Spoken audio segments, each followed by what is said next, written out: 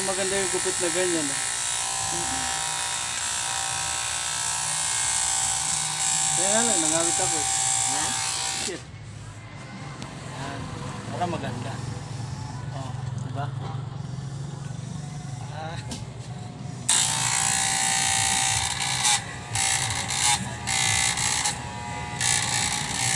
Madali lang ba matuto magupit? Okay lang. Basta yung... Madali lang. Ako di mo marunong dati magupit. eh. Oo.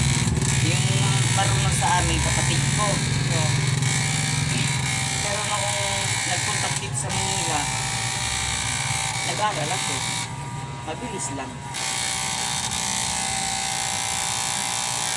Kailangan, kailangan lang razor lang, ginagamit lagi. Paano yung sa gunting? Paano matansya yung ano? Pag nag-hairstyle ka na, Ah. Maganda rin kasi yung gupit eh. oo, oh, na, na ano, puhunan ka dyan. Kaya sa isang araw, kung makasampu ka, edi ano na yan? 400, oh, 400? 500? Iba-iba pa sa inyo, kung minsan 60.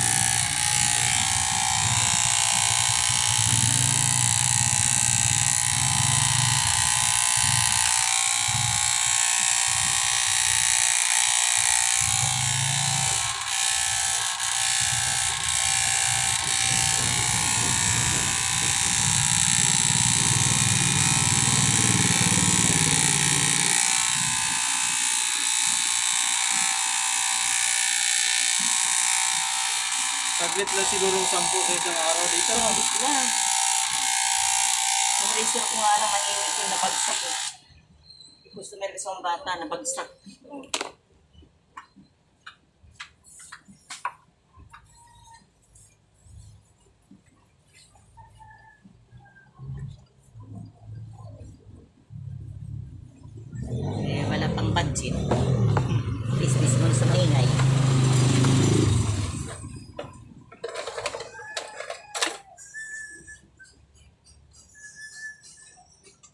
Alam ko kanina, wala nang nag-gupit. Hindi ko hindi na kasi naano sa labas. Hindi na ganun halata. Ano nag-gupit? Hindi, nagpinta kasi ako ng ulam eh. Kasi mahirap pag negosyo mo isa lang. Di ba ba ano ka dyan dati? May Tayo-tayo. ubay-ubay. Oo, yan. Sa tingga. Meron pa rin yun. Wala, inano ko. Ah, nilisin ko muna kasi tinatanggal yun nung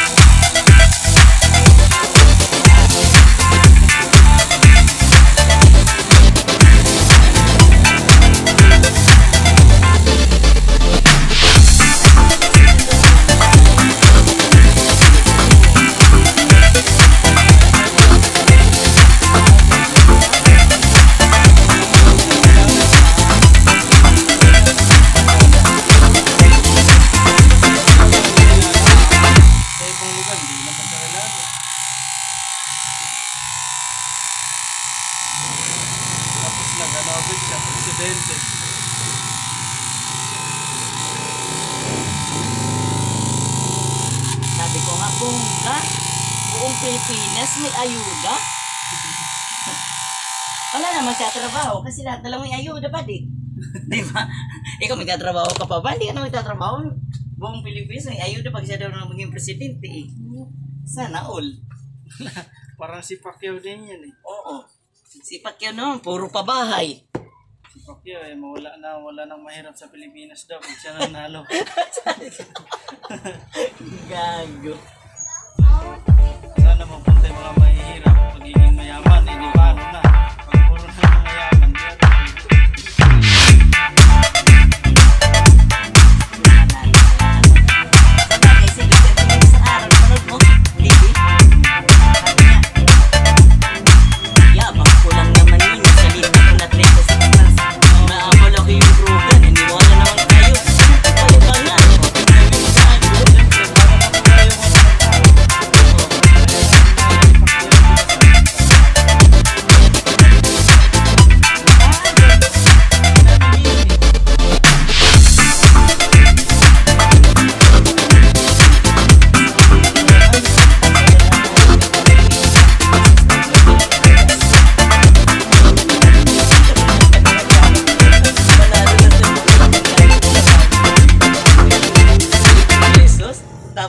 piso din yung galunggong. Eh, Sabi nga ng matanda eh. Ba, dapat, bakit? Marami ba siyang mga pa, ano yun, palayan?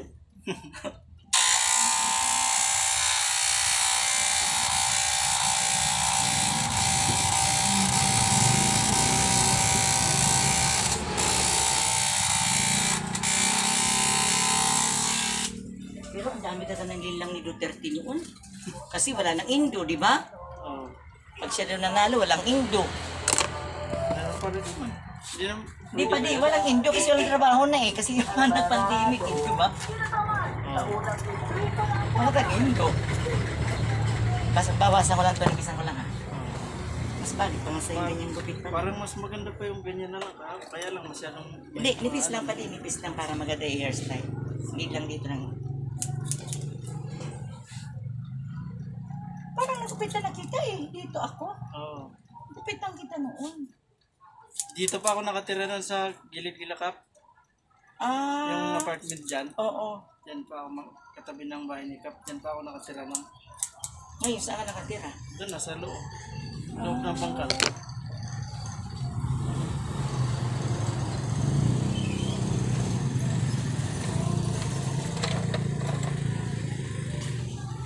May viral niya yung si Isko eh. Hindi ka lang saan, lag- saan lugar yun. Sa sobrang tuwa niya kasi ang daming tao tumalon Oo. and out balance. Nabagok yung puwet niya eh. sa gilid ng stage. Oo.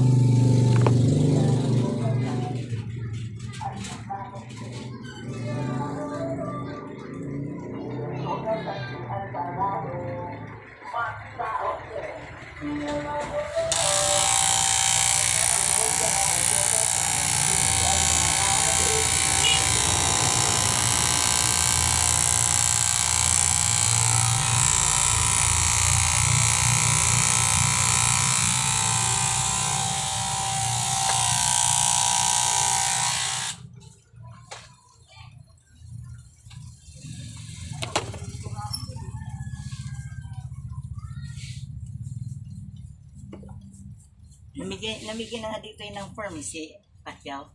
Oo. Para sa... Pabahay daw. Tapos yung iba tinis na tuwang-tuwa. Mga bugo. Niwala naman. Naniwala naman.